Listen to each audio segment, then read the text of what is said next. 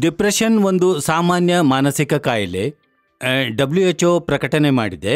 ಎಲ್ಲ ಕಾಯಿಲೆಗಳಲ್ಲಿ ಇದು ಎರಡನೆಯ ಸ್ಥಾನದಲ್ಲಿದೆ. ಸಾಮಾನ್ಯವಾಗಿ ಇದು ಬರುವುದು ಎರಡು ಮುಖ್ಯವಾದ ಕಾರಣಗಳಿಂದ ಎಕ್ಸ್ಟರ್ನಲ್ ಮತ್ತು ಇಂಟರ್ನಲ್ ಎಕ್ಸ್ಟರ್ನಲ್ ಫ್ಯಾಕ್ಟರ್ ಏನೆಂದರೆ ಸಾಮಾನ್ಯವಾಗಿ ವ್ಯಕ್ತಿ ಸ್ಟ್ರೆಸ್ ಅನುಭವಿಸೋದು. ಹೇಗೆಂದರೆ ಆಫೀಸ್ ಒತ್ತಡ, ಮನೆಯಲ್ಲಿ ಆಗೋ ಜಗಳ, ಕೆಲಸದ ಒತ್ತಡ, ಸಾಮಾಜಿಕ ಒತ್ತಡಗಳು ಇಂಟರ್ನಲ್ ಫ್ಯಾಕ್ಟರ್ಸ್ ಸಾಮಾನ್ಯವಾಗಿ ಜೆನೆಟಿಕ್ ಆಗಿರುತ್ತೆ ಕಾನ್ಸ್ಟಿಟ್ಯೂಷನಲ್ ಫ್ಯಾಕ್ಟರ್ಸ್ ಇರುತ್ತೆ, ಅಥವಾ ಬಯೋಕೆಮಿಕಲ್ ಡಿಸ್ಟರ್ಬೆನ್ಸಸ್ ಡಿಪ್ರೆಷನ್ ಆಗೋಕೆ ಇನ್ನೊಂದು ಕಾರಣ ಏನಿರಬಹುದು ಅಂದ್ರೆ, ಕೆಲವು ಶಾರೀರಿಕ ಕಾಯಿಲೆಗಳಿಂದ ಡಿಪ್ರೆಷನ್ ಆಗೋ ಸಂಭವ ಇರುತ್ತೆ. ಉದಾಹರಣೆಗೆ ಕ್ಯಾನ್ಸರ್ ಹೃದಯಾಘಾತ ಅಥವಾ ಕಿಡ್ನಿ ಫೇಲ್ಯೂರ್ ಮತ್ತೆ ಕೆಲವು ಸಾರಿ ಈ ಕಾಯಿಲೆಗೆ ಚಿಕಿತ್ಸೆಗೆ ನೀಡೋ ಔಷಧಿಗಳಿಂದನೂ ಡಿಪ್ರೆಷನ್ ಬರಬಹುದು. ಅಂದರೆ ಡಿಪ್ರೆಷನ್ಗೆ ಕಾರಣ ಆಗಬಹುದು.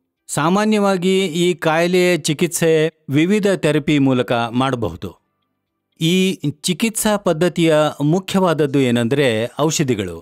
ಮತ್ತು ಎರಡನೇದು ಅಂದರೆ ಸೈಕೋಥೆರಪಿ ಕೌನ್ಸಿಲಿಂಗ್ ಮತ್ತು ಮೂರನೇದು ಅಂದರೆ ಜೀವನ ಶೈಲಿಯಲ್ಲಿ ಬದಲಾವಣೆ.